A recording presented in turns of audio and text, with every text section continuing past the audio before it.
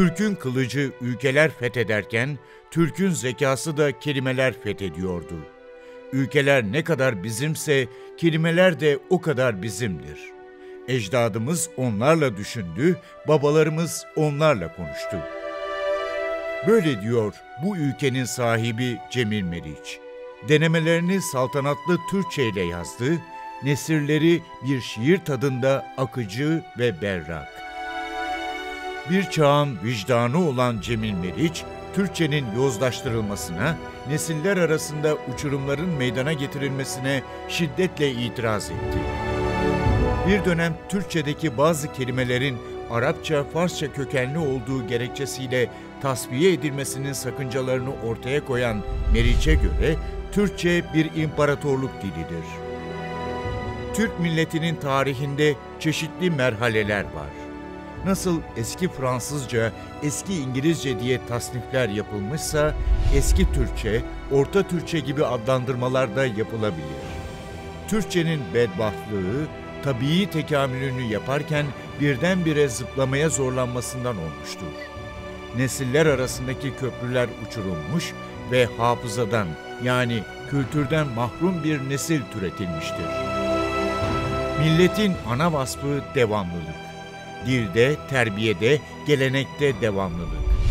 600 yıl cerrahi bir ameliyatla içtimai uzviyetten koparılıp atılınca Türk düşüncesi boşlukta kalmıştır.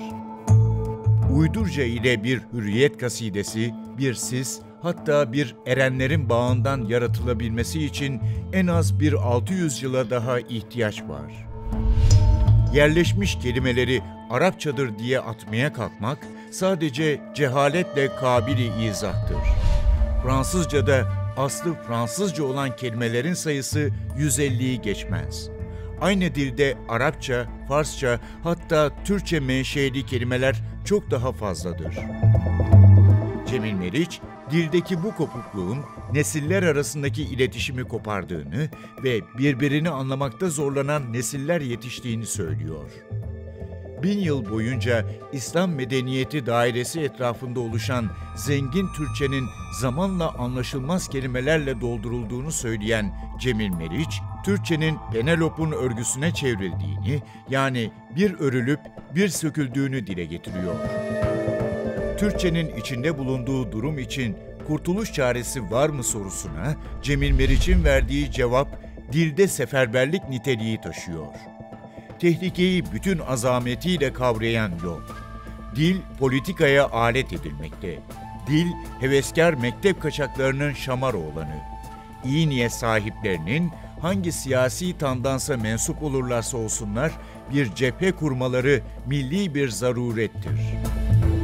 Cemil Meriç, tefekkürün, çilenin ve bir büyük kültür abidesinin sembolüdür ülkemizde. Batıyı da, doğuyu da hep ondan öğrendik. O olmasaydı ne bu ülkeyi böylesine derinden tanıyabilecek ne de ışık doğudan gelir fikriyle kendimize dönebilecektik.''